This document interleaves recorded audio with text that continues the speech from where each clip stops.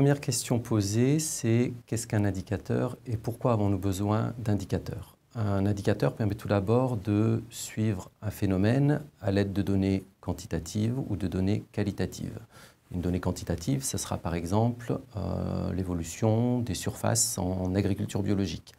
Une donnée qualitative, c'est ce qu'on appelle un, signal, ce sera par exemple l'état des euh, coraux, euh, l'état des récifs coralliens ces indicateurs sont utilisés principalement par les évaluateurs et euh, par les lecteurs des euh, rapports d'évaluation. Ils sont importants parce qu'ils permettent euh, d'objectiver le débat public et ils permettent de comparer les choses à la fois dans l'espace et dans le temps.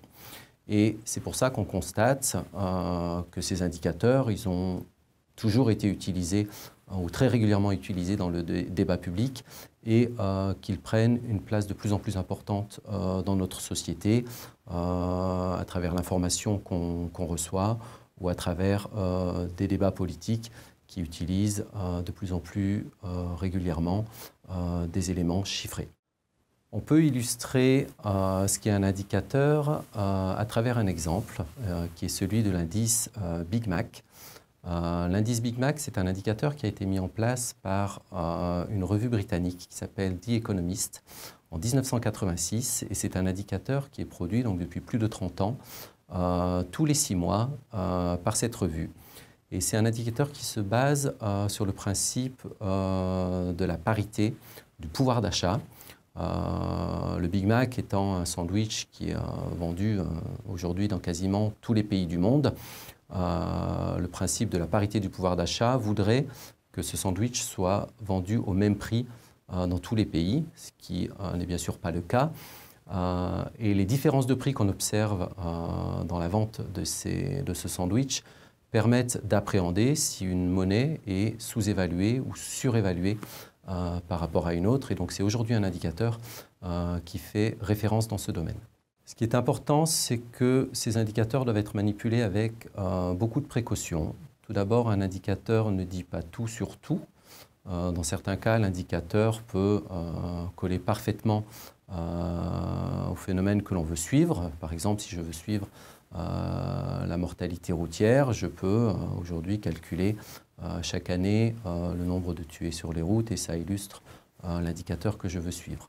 Dans d'autres cas, l'indicateur ne peut illustrer que partiellement euh, la politique, par exemple euh, la politique de réduction euh, de, la, de, la, biodiversité, elle ne peut pas être suivie dans sa globalité. Donc on va la suivre avec différents indicateurs, on appelle des indicateurs sectoriels, par exemple les populations d'oiseaux communs qui permettent d'appréhender l'état de la biodiversité au niveau national. Euh, de la même façon, un indicateur doit être interprété avec précaution suivant l'échelle géographique euh, à laquelle on le regarde, parce que chaque indicateur peut être euh, désagrégé à une échelle géographique infra. un indicateur international peut être désagrégé en indicateurs nationaux, un indicateur national peut être désagrégé en indicateurs départementaux ou communaux. Et pour illustrer ça, on peut prendre euh, un exemple à travers euh, les émissions de gaz à effet de serre, avec ici euh, quelques chiffres hein, non exhaustifs, mais simplement pour illustrer le, phénomène ou les précautions à prendre. si on suit les émissions de gaz à effet de serre au niveau de l'Union européenne, on peut le faire d'abord sur deux pas de temps. Un pas de temps long, on suit les évolutions de 1990 jusqu'à 2015 en moyenne, et là on constate une baisse de 20% des émissions de gaz à effet de serre, donc situation plutôt euh, favorable. Maintenant, si on regarde ce même indicateur, toujours à l'échelle de l'Union européenne, mais sur un pas de temps court, c'est-à-dire l'évolution 2014-2015, on voit que les émissions de gaz à effet de serre augmentent de plus de 1%. Donc on voit que c'est le même indicateur, deux pas de temps différents, ça raconte deux histoires différentes.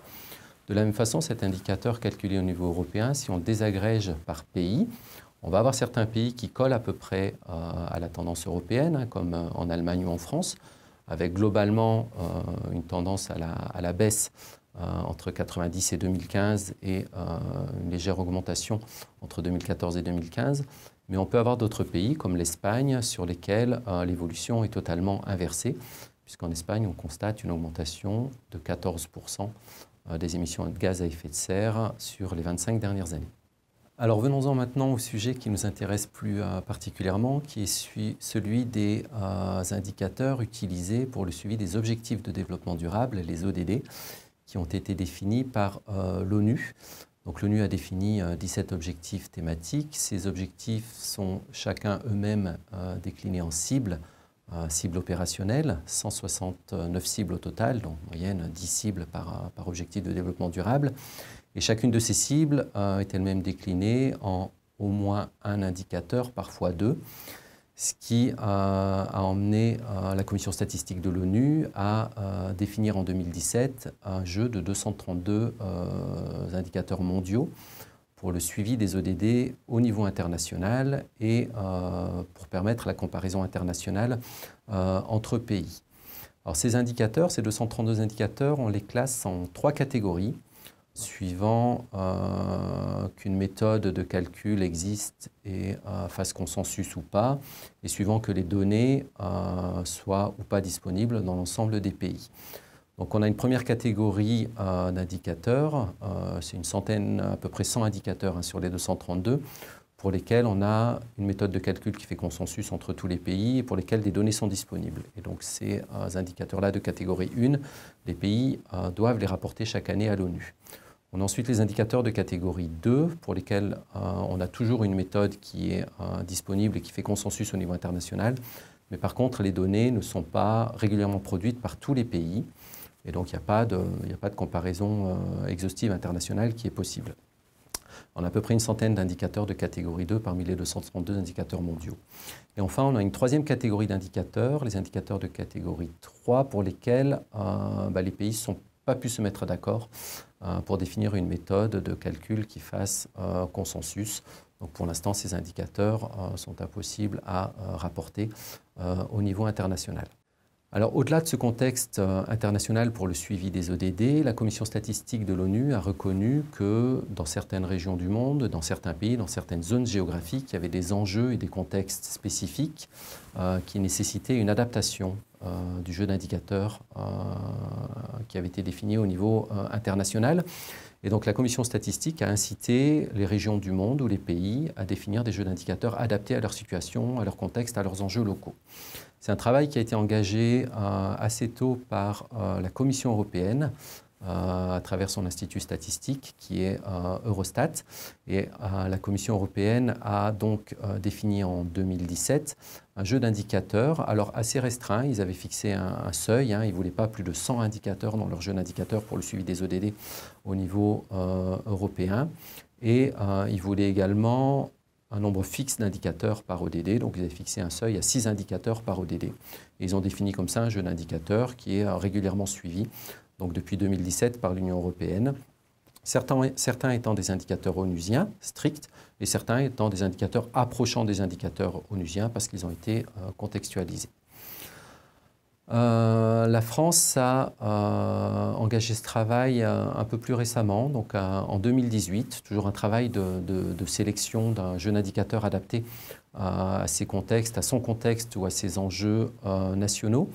La France l'a fait dans le cadre d'une instance qui s'appelle le CNIS, le Conseil national de l'information statistique, une instance qui réunit des producteurs et des utilisateurs de, euh, statistiques. Euh, c'est un travail qui a été co-animé par euh, l'Institut statistique national, l'INSEE, et par le service statistique du ministère de, de l'écologie, avec comme pour Eurostat, un certain nombre de critères de sélection. Hein. On voulait que les indicateurs soient disponibles, on voulait qu'ils soient produits régulièrement, on voulait être sûr qu'ils soient encore produits dans les années qui viennent. Euh, on voulait au moins trois points de mesure d'ici à, 2030. On a été un peu moins strict sur euh, le nombre d'indicateurs par ODD. Donc Eurostat avait, défini un, seuil strict de 6 indicateurs par ODD. Nous, on se retrouve avec 4 ou 8 indicateurs par ODD suivant, euh, suivant les objectifs. Mais voilà, on a défini comme ça un jeu de 98 indicateurs qui euh, nous sert aujourd'hui au suivi de l'engagement de la France dans les ODD. Alors on en est aujourd'hui en France au stade de la publication des chiffres pour ces 98 indicateurs ODD. L'enjeu maintenant sera pour nous, pour l'INSEE et pour les services statistiques ministériels, de faire parler ces chiffres, c'est-à-dire de représenter ces chiffres sous forme graphique ou euh, cartographique. C'est un travail qu'on engage au niveau national, qui n'est pas encore finalisé, mais pour essayer de caractériser l'objectif qu'on poursuit, on peut s'inspirer de ce qu'Eurostat a fait au niveau européen avec un outil qui a été mis en place et qui est disponible euh, sur Internet, qui s'appelle SDGs and Me, voilà, qui est un outil qui permet de sélectionner un objectif, une cible, un ou plusieurs indicateurs, une zone géographique, la plupart du temps un pays, et de représenter sous forme graphique euh, l'évolution ou la situation de cet indicateur. Donc on a fait figurer ici euh, un exemple qui est celui de l'un des 100 indicateurs retenus par Eurostat qui est l'artificialisation des sols. Et euh, ce qui nous intéressait ici de représenter, c'était la situation de la France parmi tous les pays de l'Union européenne.